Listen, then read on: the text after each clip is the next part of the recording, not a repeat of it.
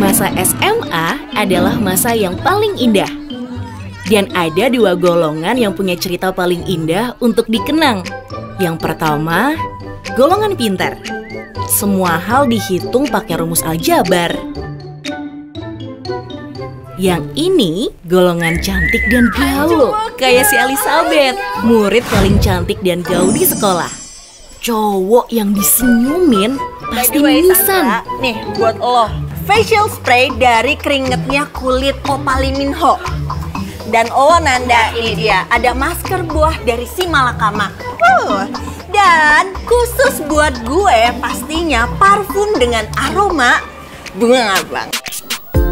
Julukannya Ratu Endorse. Semua merek pasti endorse dia. Bahkan katanya sih dia jadi murid di sini karena di endorse sekolah. Hei, liatin apa kalian? Hah? Lohe, lohe. Yang kedua, golongan bandel dan pembuat onar.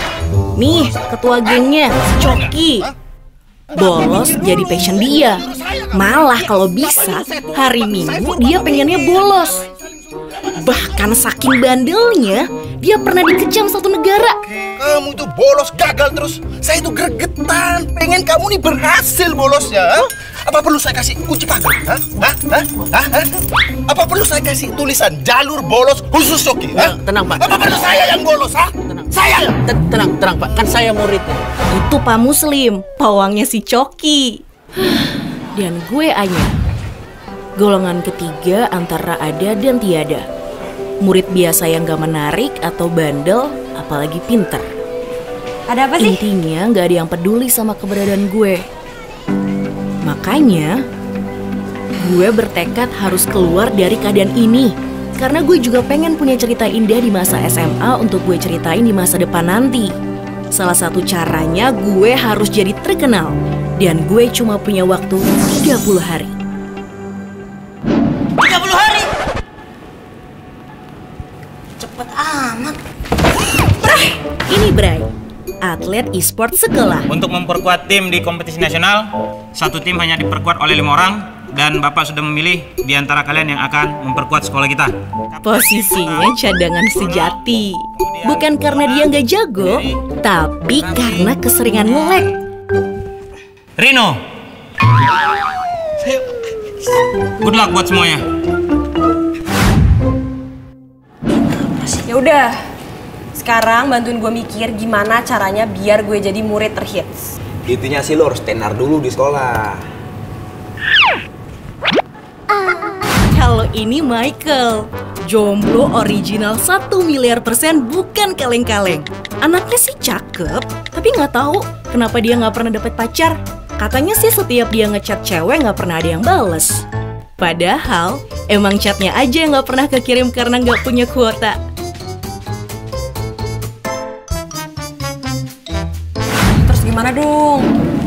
Gimana kalau kita bikin video aja? Lo challenge di lapangan. Challenge makan bakso yang segede bola. Tapi dalam baksonya ada anaknya, jadi bakso beranak gitu, ya gak? Dan anaknya ada konda. Jadi ada bakso, pas dibuka ada anak kondanya. Gak lucu. Nah, kalau ini si kembar Wara dan Wiri yang selalu ceria. Masukin terigu 2 sendok. Mereka suka banget masak karena cita-cita mereka pengen jadi chef terkenal. Telur, telur, masukin telur. Sinyalnya buffering. Terus gimana dong? Padahal kan dikit lagi. Terus gimana dong nih? Semuanya apa setengah? Ya udah, kita masukin aja semuanya. Yuk. Ya udah. Air banyakin. Terus terigunya tambahin aja lagi. Ya udah, biar enak. Mereka ini calon entrepreneur bisnis makanan yang sukses. Enak, ini perkenyang hati senang. Dijamin gak lapar. Well, meskipun kuenya bukan buat dimakan. Anyway, ini geng gaul gue. Geng berani eksis loh. Kalau disingkat jadinya geng bel. Woi gembel, itu Instagram apa kuburan? Sepi bener. Tapi seringnya diledekin gembel. Jadi gimana nih guys? Bantuin gue dong. Ya.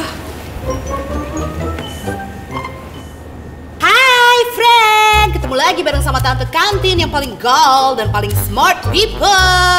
Maaf ya, tante baru bisa live Instagram lagi nih. Soalnya dari tadi tante itu sibuk banget. Biasalah bagi-bagi giveaway bakwan di sekolah buat semua yang follow akun tante. Hei, kenapa sih? Kok mukanya pada kusut-kusut banget? Kita tuh lagi mikir gimana caranya biar Anya jadi murid terhits. Aduh, aduh, aduh. Begini nih kalau kurang gaul, kurang smart people kayak tante. Kalau mengehits itu zaman now butuh kuota, cuy. Buat sosmed-sosmed gitu. Kan kuota juga butuh duit, Tan. Kalau mau duit kan kudu kerja. Sedangkan kita juga baru sekolah. Duit jajan aja dikasihnya per minggu. Kalau dibeliin kuota, belum seminggu, udah habis. Oh, itu masalahnya. Tenang, tenang, tenang, tenang. Jangan khawatir, don't worry, be happy. Kalian belum pada tahu ya?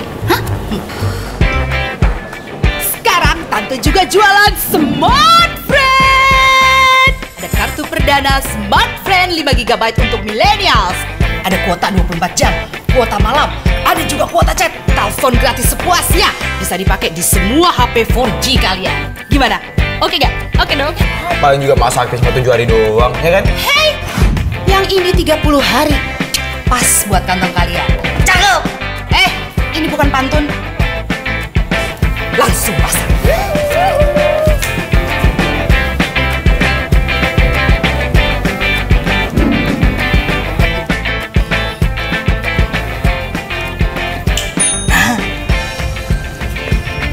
Gue tahu kita harus ngapain. Serahin semuanya sama gue. Firasat gue nggak enak nih, geng. Tapi kita lihat aja nanti. Mana mungkin ibu-ibu ada jam segini tuh, Neng? Itu bukan ibu-ibu. Anyai! Dan gue lagi pengen bikin video tentang maniak, yeay! Cari tempat yang unik, yang jauh, yang jarang dijamah orang. Ngapain? Ngapain?